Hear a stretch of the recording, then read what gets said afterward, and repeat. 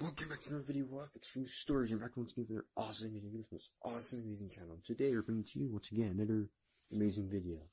And today's video is going to be something creepy. Like I mentioned two weeks ago about, um, telling about a story that's really, really going to surprise you guys. And today I bring to you the crazy story. So it took place on a cold, cool Christmas Eve afternoon, and I had been laying around enjoying watching some videos and doing some animations, I think. I think I was working some animations at that time. But during the time, I was just having a good time, and I didn't know that things later day would soon turn weird. Really weird. Right around, I think it was 2 o'clock, I think, this happened. A message came up my phone, and it was from Discord. And then it seemed like, okay, yeah, maybe someone texted me or something. So I went to take the message out, and it was just some random person. And I was like, okay, yeah, I'll just check this out they sent me a friend request. Something that I didn't expect. So I went into the into the app, saw what was going on, and it was like, yeah, okay, let's just do this. So I went and entered, and it was like, who are you? Stuff like that. And they replied with, oh, I was just bored, blah, blah, blah. Random, and I was like, okay, so where are you from? And, and like, oh yeah, I was like, I'm from Cali they said. So basically from California. Seen no real enough. And they, then they said they were visiting, they were visiting for the place. And then that's when I got suspicious. I was like, okay, so where are you? Alright, that was the first red flag. That's when I knew something fishy was going on. So then I, so then I asked them again, where are you from? And they're like, from the area. I was like, where from the area?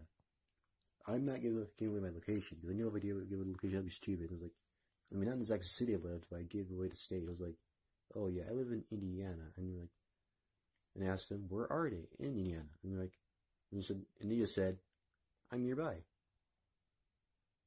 What the frack? And this is when things get really creepy. When I asked, when I asked this person, oh yeah, do you need friends to talk to? They're like, they, they, were they started directing to this, to this um, website. And I was like, okay, now I'm getting really suspicious. And also, this person was 22. They claimed to be 22. And I typed in, I was like, I'm 17, so what the heck? And I was like, are you looking for a boyfriend? And she replied back with, uh, no, just come to the website. This is a creepy person. Really creepy. So I went to the website you just that was the second thing I should. That's one thing I should not done, and I just immediately went back. I had not. I just I was on there for like one second, and I turned back and was like, okay, you you gotta stop this. You really gotta stop because one, they're 22, and I'm 17. So what kind of correlation is this? This is a bad correlation. I don't want to get in trouble for something that I got dragged into. So I was like, yeah, I'm gonna have to turn you down on that.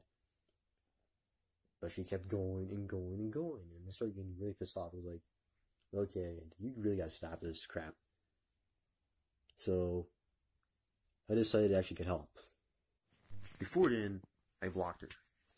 That was the first step doing things. But that did not, I knew that there was not a stop. So then I got some, like I said, I went, got some friends. Like, I guess contacted the server first saying, oh yeah, there's this person around trying to flirt people and that's when the few friends knows and they're like, okay, we're to have to stop this hacker. So one of them actually decided to go and trash talk this hacker. And she managed to keep her away. Which is a good thing. And after that, after the whole situation, we actually managed to keep her from texting anyone of us again.